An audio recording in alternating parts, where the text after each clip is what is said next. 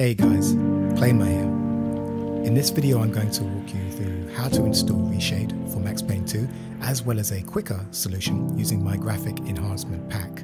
If you've attempted to install Reshade using Max Payne widescreen fixes or other mods in the past, you've likely had issues due to a number of file conflicts.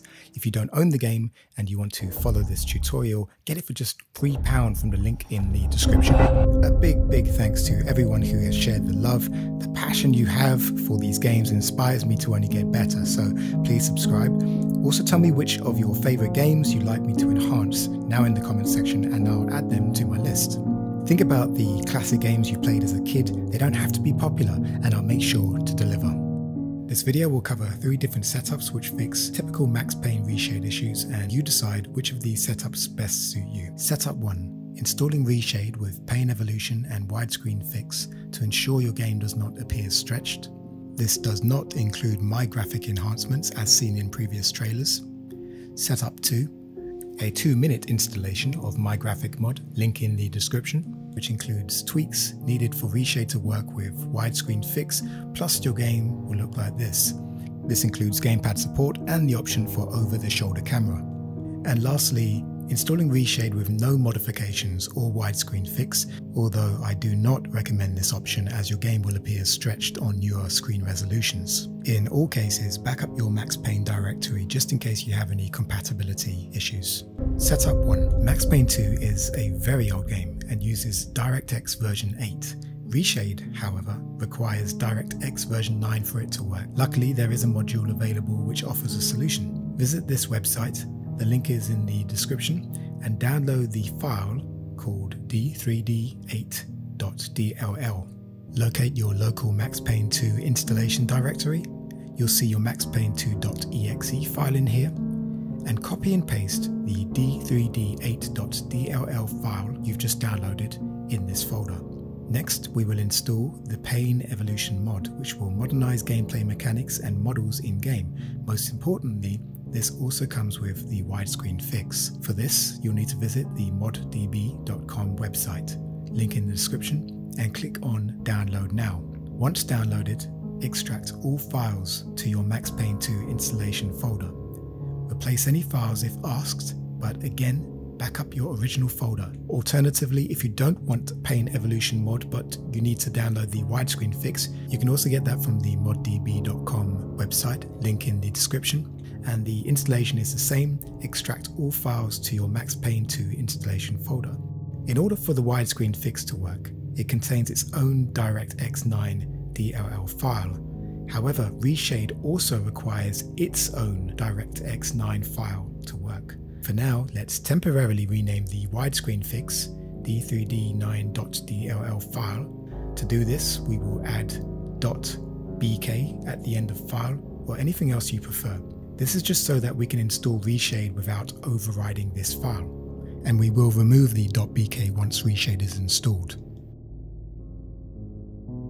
And finally, let's download Reshade. Visit the following website, reshade.me, link in the description, and download the latest version. Once downloaded, open Reshade, you'll be asked to select your game. If it's not on the list, select the Browse button and find your game and select DirectX 9. Next, you'll be asked to install your packages.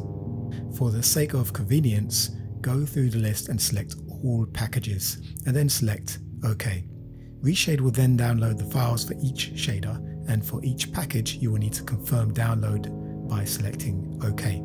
If you go back to your Max Payne directory, you will see that Reshade has created its own d3d9.dll file Next, we need to configure Reshade to work alongside the widescreen fix. To do this, we will select all Reshade files and move them to the scripts folder. Select the following three files d3d9.dll, reshade.ini, and the reshade hyphen shaders folder. Cut and paste or move them to the scripts folder. Now let's rename reshade d3d9.dll to reshade.asi. with a capital R and a capital S. The global.ini file within this folder will also conflict with reshade, so let's hide it. For this, create a folder entitled hide and simply drag and drop the global.ini file in here. Go back to the main Max Payne directory and rename the d3d9.dll to its original name, but without the .bk.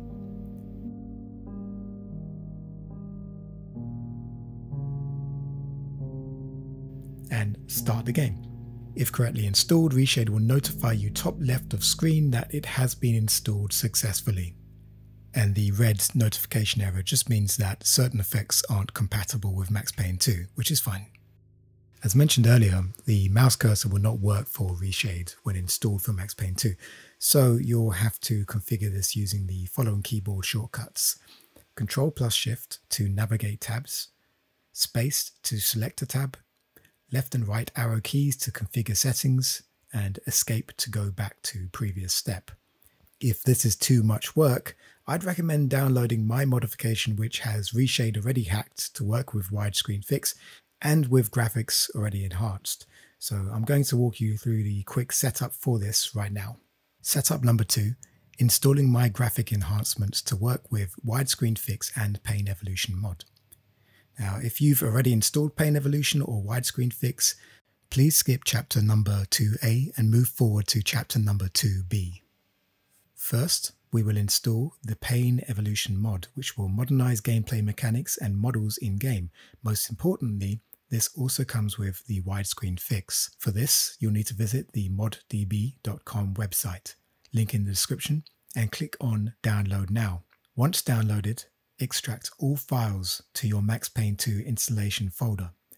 Replace any files if asked, but again, back up your original folder. Alternatively, if you don't want Payne Evolution mod, but you need to download the widescreen fix, you can also get that from the moddb.com website, link in the description. And the installation is the same. Extract all files to your Max Payne 2 installation folder.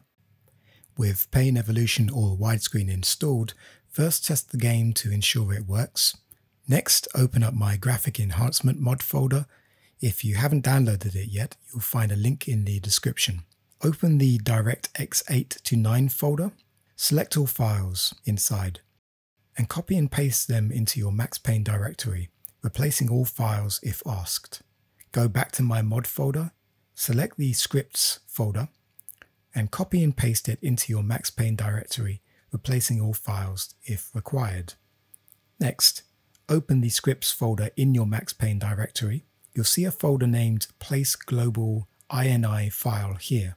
Follow that instruction and select the global.ini file and place it in that folder. Head back to your Max Payne root directory and start the game. Within the setup screen, select Options and turn off anti-aliasing to ensure Reshade's depth buffer works. Also, uncheck the mirror effect to avoid depth buffer conflicts on certain levels. Once configured, hit play and enjoy Max Payne 2 Remastered.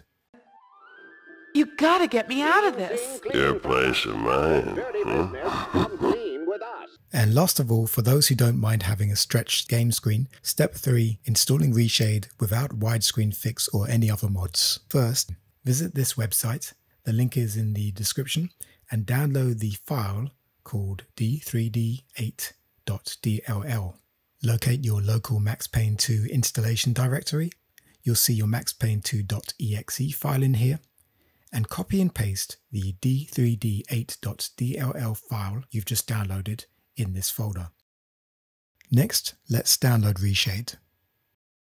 Visit the following website, reshade.me, link in the description, and download the latest version. Once downloaded, open Reshade, you'll be asked to select your game. If it's not on the list, select the Browse button and find your game. Then select Direct 3D9. Next, you'll be asked to install your packages. For the sake of convenience, go through the list and select all packages, and then select OK. Reshade will then download the files for each shader, and for each package, you will need to confirm download by selecting OK. With DirectX compatibility and Reshade installed, start up Max Payne 2. Within the setup screen, select Options and turn off anti-aliasing to ensure Reshade's depth buffer works. Also, uncheck the mirror effect to avoid depth buffer conflicts on certain levels.